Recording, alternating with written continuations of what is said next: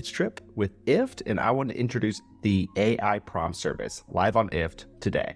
Let's check it out. IFTTT's AI prompt is the most customizable and creative AI service we have on IFTTT. It allows you to basically do anything you want with AI.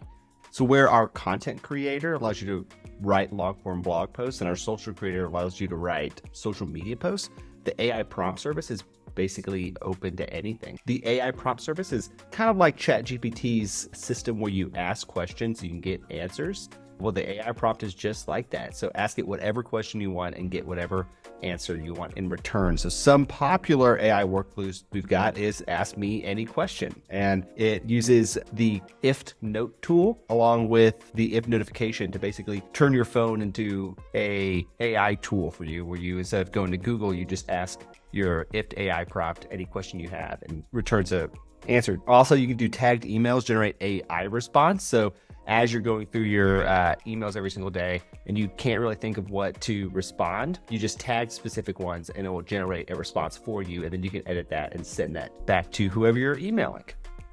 This is actually really cool. So, the local SEO specific um, AI applet where every new review you get, you generate a custom reply to automatically. Now, remember when you're building your prompt, this prompt query is basically an open book you can just add whatever you want in here and it will always return kind of a custom um, answer to whatever prompt you insert. So the big thing is just remember your trigger needs to be very customizable. So the if note widget is extremely customizable. It's like just jumping on Google and asking a question, but you can also use any new row on a Google spreadsheet as your kind of trigger or every new task you add to ClickUp, send a prompt for it and then return something back. So this is very customizable and very open to interpretation. So I'd love to kind of see what you guys build using this new prop service and go start playing around with it. Well, that's it for today. So go check out IFTTT's new AI prompt service and start